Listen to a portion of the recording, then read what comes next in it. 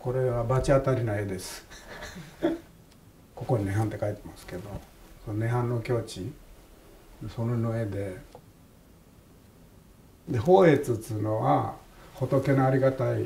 教えを聞くとあの天国の感じエクスタシーっていうんだけど英語に直すとだから性的な意味もすごい強いんですよ。の今回のそのこだわったところみたいなところ大きさです